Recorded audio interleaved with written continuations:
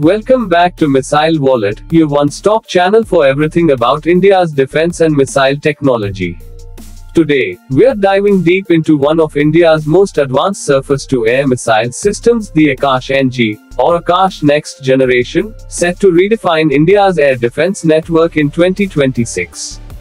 The Akash NG is an upgraded version of the original Akash missile, developed by the Defense Research and Development Organization, or DRDO.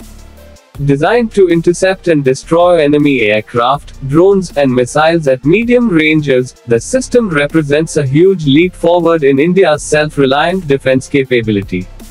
The Akash NG uses a dual-pulse solid rocket motor and active radar seeker, giving it better accuracy, longer range, and faster reaction time than the earlier models.